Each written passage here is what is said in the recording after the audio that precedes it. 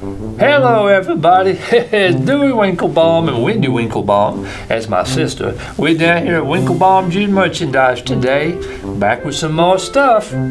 Dewey, what's the deal with that hat today? What's what's what's going on? Well, Wendy, I tell you, we've been getting cards and letters, and my head's been kind of shiny and putting people's eyes out. I think they're full of lies, but you know, I went ahead and put on a hat today just in case. Looks good, Dewey.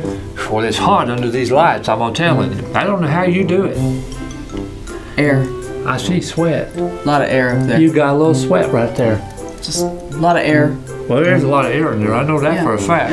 She's my sister. I talk to her that way. Hey, do you know what we have today? At Winklebomb's Used Furniture, we got some three-legged chairs back here. All you got to do is put you a, a block onto one of the legs that's called. Brick, block, Yeah, something. well, we can sell those for all. Books. Now, whatever, you know, because I don't read books. I just put them under stuff. We have them for nine dollars and fifty cents. Nine fifty for a chair, For a chair. a comfortable chair. Nice. You can't beat that no place. No. And I'll tell you what, you can have two of them puppies. And uh, I said 950 and 950. What's that come to, Wendy? Twenty-two fifty. Okay, you have for 2350 for two of them. That's a good.